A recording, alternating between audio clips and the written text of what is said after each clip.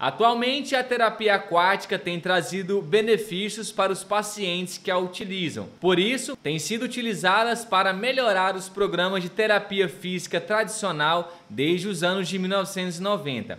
É a maior ferramenta para as pessoas com qualquer tipo de descapacitação já que aumenta a circulação, melhora o ritmo cardíaco, desenvolve a capacidade de movimento, diminui a pressão arterial e aperfeiçoa o funcionamento do sistema digestivo, entre muitos benefícios mais. É ideal para a reabilitação neurológica. Neste momento, nós estamos tendo aqui uma atividade de natação, só que a piscina é aquecida e na hidroterapia, que é feita pelos fisioterapeutas, a gente vê também uma grande evolução, porque a água aquecida, é, o meio líquido, né, ele oferece mais mobilidade para o paciente e ajuda muito na recuperação e desenvolver é, movimentos que na fisioterapia convencional isso não acontece.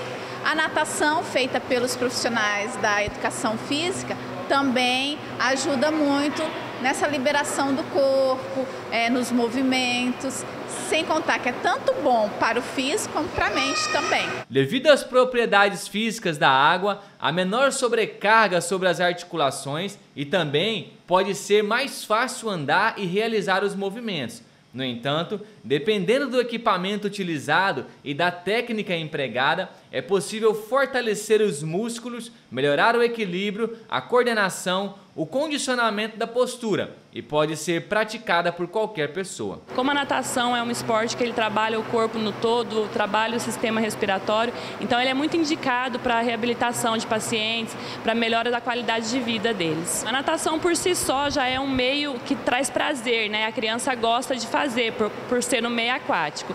E ele é indicado porque fortalece o sistema cardiopulmonar, né? desenvolve todas as habilidades motoras e a criança faz esse desenvolvimento sem muito perceber que está fazendo uma atividade física, faz mais por lazer, né? E aí o profissional sabe quais os benefícios tirados dali. O Centro Educacional de Rolim de Moura sempre precisa de voluntários e doações pois é uma instituição sem fins lucrativos. As pessoas podem se dirigir aqui na rua Tocantins, 5884, bairro Boa Esperança, próximo ao Corpo de Bombeiro.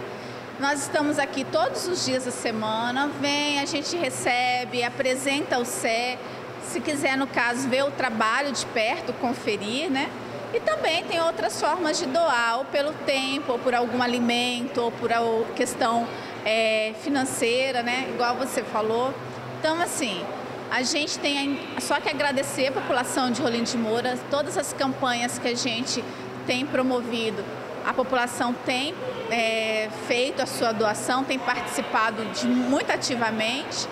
E a gente pede, se alguém quer conhecer mais, que venha até aqui.